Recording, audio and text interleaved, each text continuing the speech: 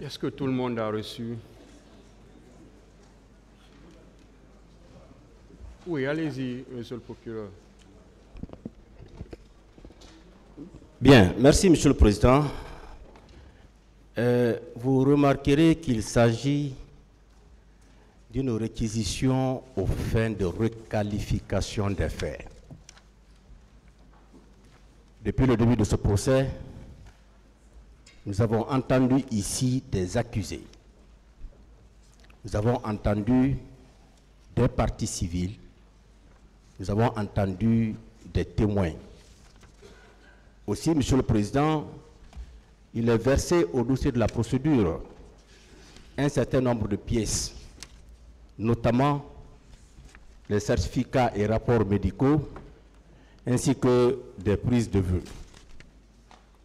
Après donc toute analyse, Monsieur le Président, le ministère public, qui est la partie principale, qui est la partie poursuivante, a estimé qu'il est nécessaire de procéder à une requalification des faits. Et selon la procédure pénale, il y a un moment pour demander la requalification. La requalification doit être demandée au cours des débats parce que tout simplement, il faut que l'accusé ou le prévenu ait le temps de se défendre.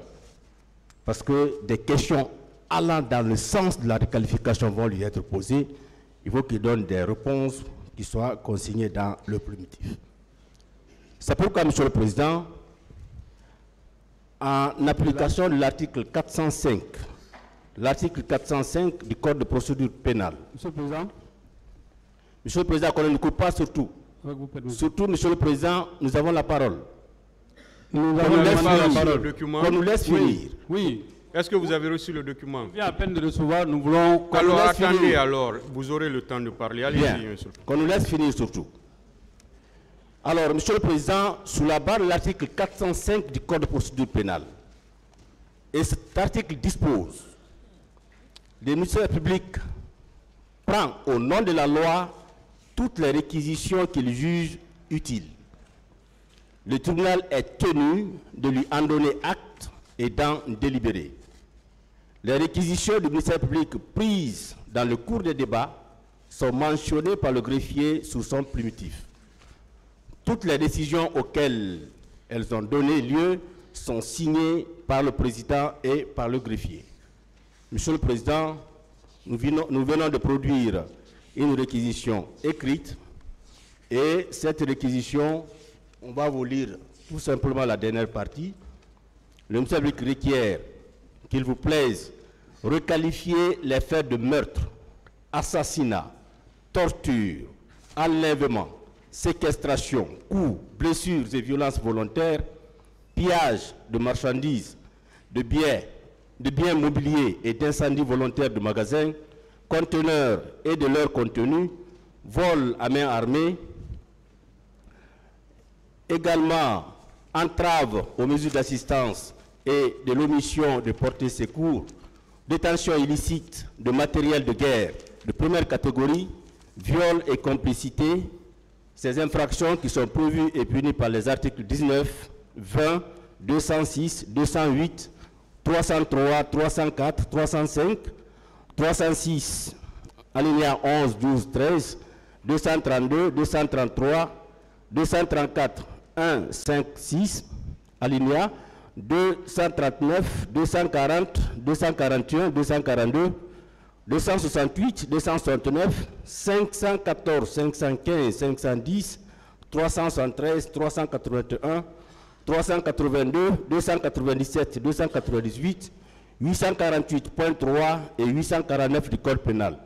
Réqualifier donc ces faits en ceux de crimes contre l'humanité et autres formes de responsabilité pénale contenues dans la disposition des articles 194, 195, 196, 197, 198, 199 du Code pénal, 7, 25, 27, 28, 29 et 30 du statut de Rome de la Cour pénale internationale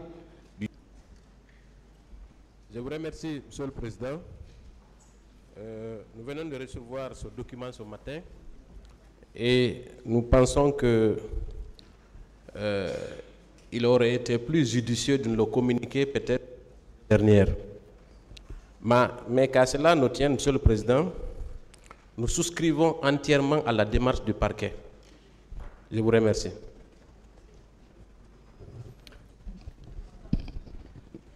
Merci, Monsieur le Président. Euh, pour notre part également, nous souscrivons à cette demande de réqualification. Il vous souviendra que nous avions déjà fait une demande en ce sens et vous avez jugé utile de répondre plus tard au cours de la procédure. Donc nous estimons bel et bien que ce sont des crimes contre l'humanité. Nous vous remercions. La défense. Alors, me- merci, Monsieur le Président. Merci, honorable assesseur. Vous venez de constater que la défense vient de recevoir euh, ces réquisitions du ministère public qui demande une requalification des faits pour lesquels nos clients sont poursuivis après un an de débat. Monsieur le Président, nous n'avons pas fondamentalement les mêmes intérêts que la partie civile. Nous nous défendons des personnes qui sont poursuivies pour des faits assez graves et pour lesquels une meilleure organisation de la défense est absolument nécessaire. C'est pour cela, Monsieur le Président, que la défense, euh, à l'unanimité, Monsieur le Président, demande un renvoi de cette affaire à deux semaines pour nous permettre, comme l'a fait le ministère public, de vous présenter des conclusions écrites en réplique aux réquisitions aux fins de réqualification présentées par le ministère public. Monsieur le Président, c'est important. Il est vrai que le procès euh, criminel ou pénal, l'oralité est bientôt la règle. Le ministère public ici, dans le cas présent, a fait une réquisition écrite. Au nom, Monsieur le Président, du droit de la défense et du principe du contradictoire qui doit caractériser tout procès juste et équitable, la défense demande à l'unanimité un renvoi à euh, deux semaines et pour nous permettre de présenter des conclusions écrites. Et vous conviendrez avec nous que les réquisitions du ministère Monsieur le Président, font 34 pages. Donc il nous faut du temps pour pouvoir euh, répliquer. Je vous remercie. Si c'est ce que, s'il a parlé au nom de la défense, Ouais, est-ce que a- chacun va prendre la au nom de la défense, mais j'avais une demande. Bon, j'ai été pris de court. Moi, j'avais une demande de confrontation.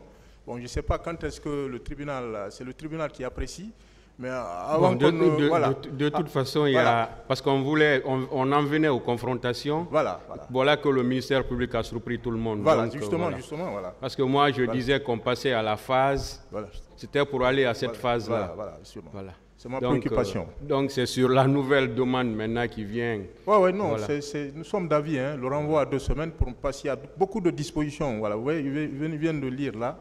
Voilà, on a, il faut, qu'on dépose des conclusions bien avisées là. Merci. Sur euh, le temps de renvoi, le ministère public, deux semaines sont demandées par la défense. Simplement sur le temps de renvoi. Merci, Monsieur le Président.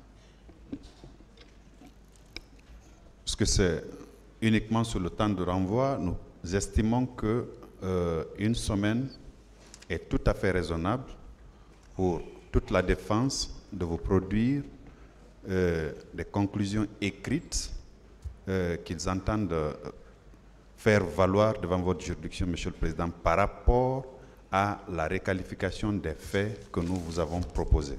Je vous remercie. Partie civile, sur le temps de renvoi.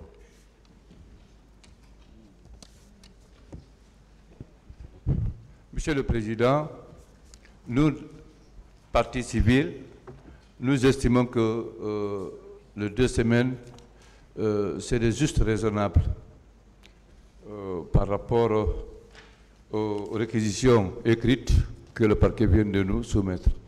Je vous remercie. comme vous l'avez dit, on est d'accord sur le fait que tout le monde veut écrire. D'accord.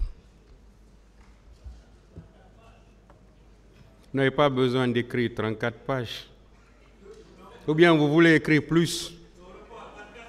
Vous voulez écrire plus. Le tribunal a assez à lire. Si chacun écrit 100 pages encore,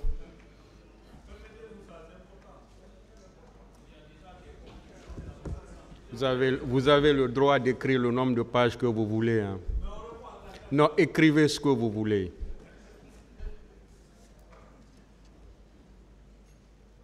Et soyez rassurés qu'on lira tout. Le tribunal renvoie cette affaire au 18 mars 2024 pour permettre aux accusés de répondre aux réquisitions écrites du ministère public. L'audience est levée.